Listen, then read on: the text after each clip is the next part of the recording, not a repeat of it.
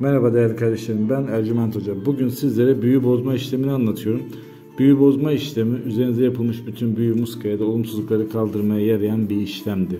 Bu işlemi yaptırmak isterseniz ne yapmanız gerekiyor? Buraya adınızı, doğum tarihinizi ve anne isminizi yazın. Daha sonra bu kağıdın ekran görüntüsünü alın, bilgisayar çıktısını alın ve evinizin etrafında bir yere toprağa gömün. 20-25 gün içinde üzerinizdeki büyü ve muskaların bozulduğunu göreceksinizdir. Arkadaşlar Ercüment Hocam Instagram kanalından bizlere yazan herkese ücretsiz yıldızlarına bakımını yapıyoruz. Sizler de yaptırmak isterseniz bana Ercüment Hocam Instagram kanalından ulaşabilirsiniz. Merhaba arkadaşlar ben Ercüment Hoca. Bugün sizlere kan büyüsünü anlatacağım. Kan büyüsü nedir? Kanla yapılan ve kan çıkmasını sağlayan bir büyüdür. Bu büyü de çok sıkıntılı, problem yaratan bir büyü. O yüzden bunu da kaldırmamız için size gerekli olan işlemi anlatacağım.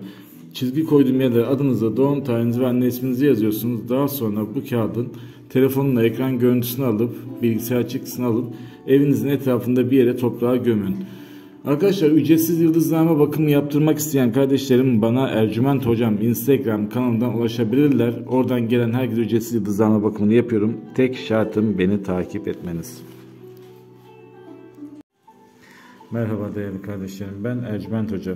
Bugün sizlere gideni geri getirme işlemini anlatacağım.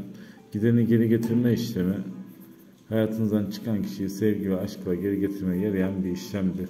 Bu işlemi yapmamız için ikinizin adı, doğum tarihi ve anne ismini aşağıda nokta koyduğum yerlere yazın ve bu kağıdın telefonun ekran görüntüsünü alıp bilgisayar çıktısını alın.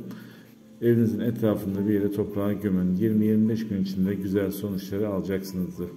Ve arkadaşlar ücretsiz bakım yaptırmak isteyen kardeşlerim bana Ercüment Hocam Instagram kanalından ulaşabilirler.